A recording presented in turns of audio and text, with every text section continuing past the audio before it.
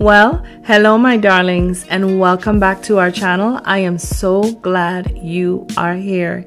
Today, I am going to show you how to create some beautiful champagne flutes on a budget you would never believe.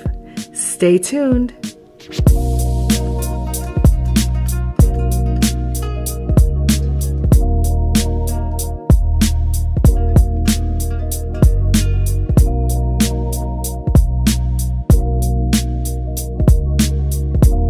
For this project, you are going to need a 2 inch styrofoam ball. You will need a roll of chained rhinestones. You will also need a 3 strand roll of diamond wrap. You will need one of these mini cordial glasses. You will need a champagne flute. They come in a pack of two. You will also need some crystal gems. And of course, you will need your handy dandy tools. Today, we are going to be working with our soldering iron. Let's get crafting. So the first thing we're going to do in preparation for our craft is we are going to adhere our styrofoam ball atop our cordial glass, well, the bottom of our cordial glass. And how we're going to do this is simply going in with a foundation of hot glue since we're working with styrofoam. This is a smooth styrofoam, by the way, not the Floracraft styrofoam. And once you have placed your foundation of glue, you're simply going to find your placement and set that styrofoam ball into place.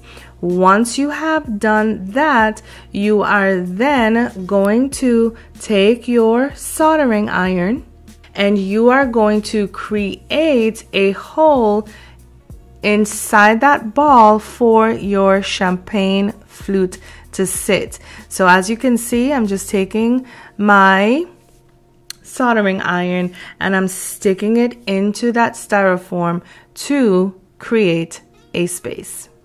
So what we are going to do next is we are going to take our champagne flute and we are going to remove the stem from the base of that glass. And to do this, we are going to use our soldering iron to cut off the base. And all you're going to do, since this soldering iron is at a 405 degree temperature, you're simply going to place your attachment on that stem and allow gravity as well as heat to do the rest.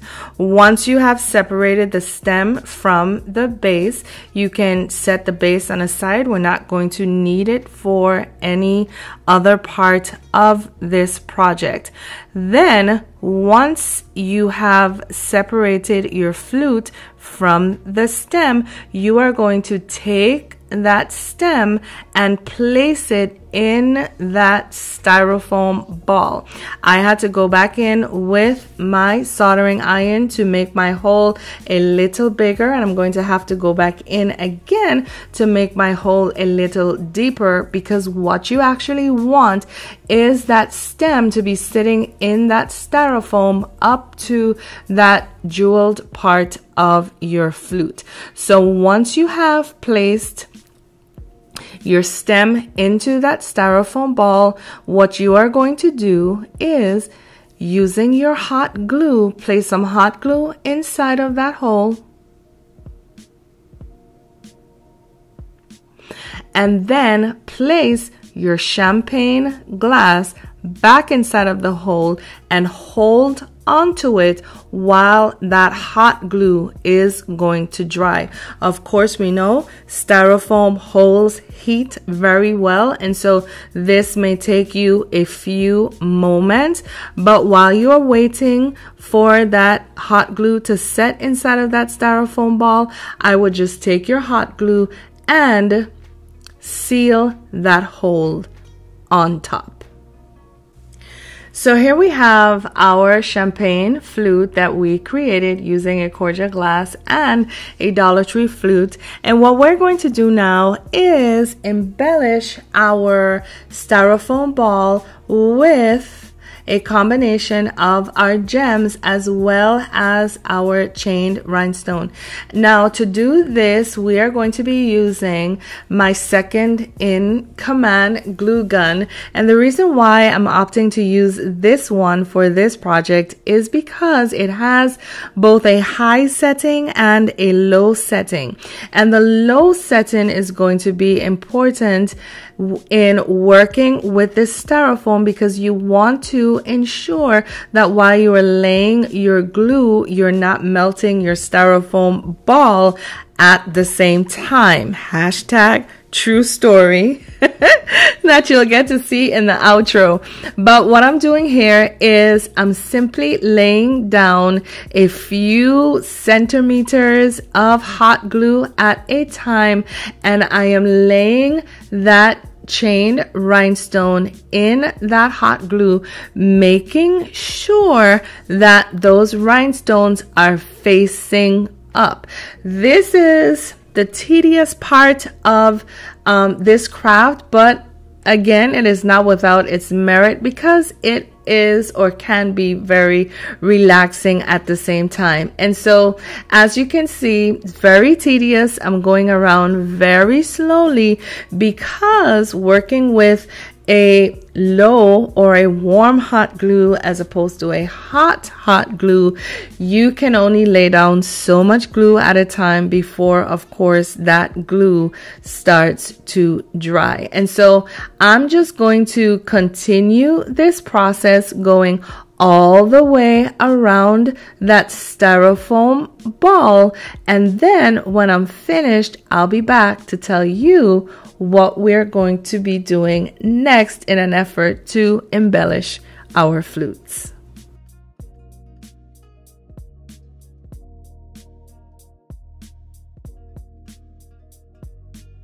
So here we have our champagne flute with our decorative styrofoam ball. And what we're going to do right now is we're going to use some crystals to embellish the top of that ball right where the flute and the ball meet. So all we're going to do with this is we are going to apply some hot glue on the back of that flat backed gem.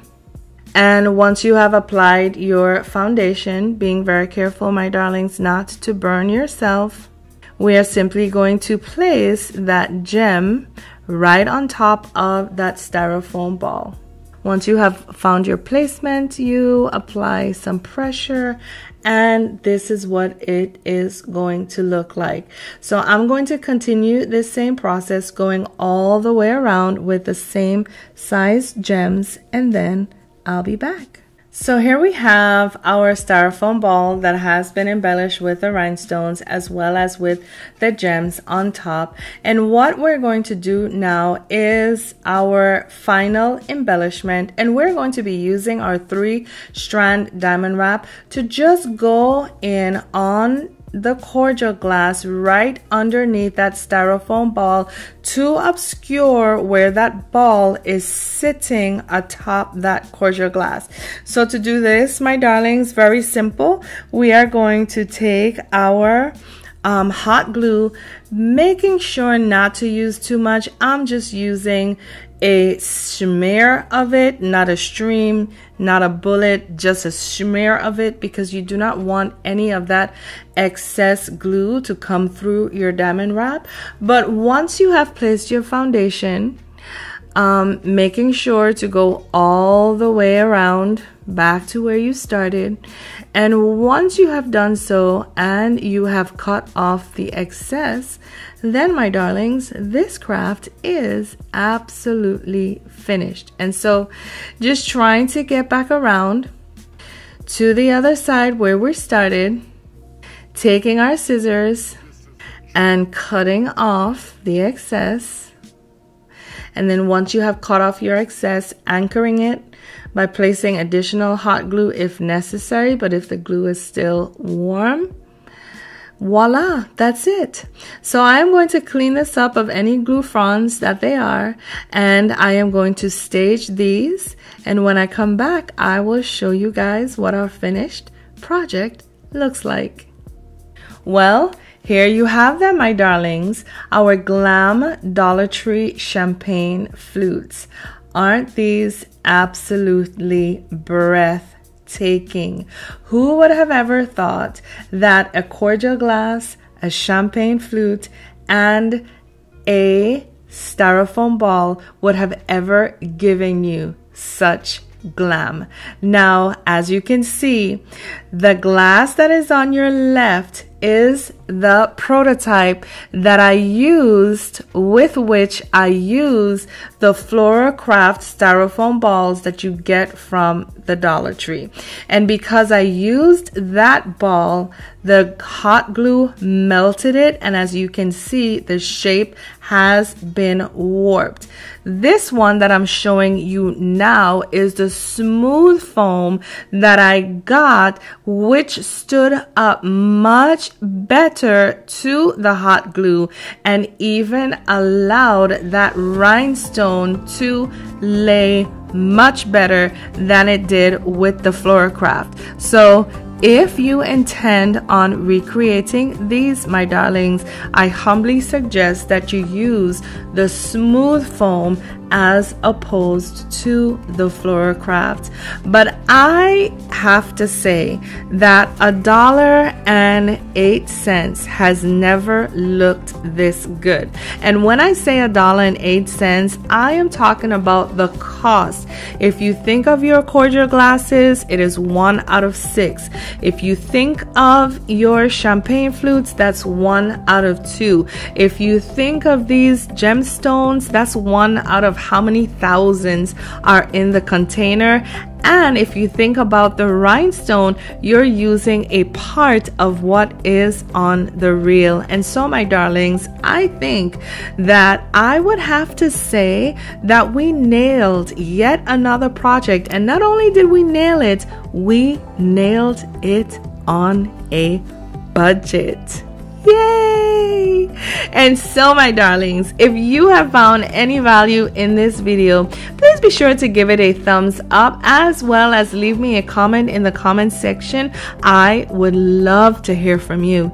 To my Danie's darlings, I just would like to tell you thank you as usual and as always for the love, the comments, the questions, the feedback, the encouragement. I just love the way you guys love me. Please know that none of it is wasted, and I appreciate each and every one of you.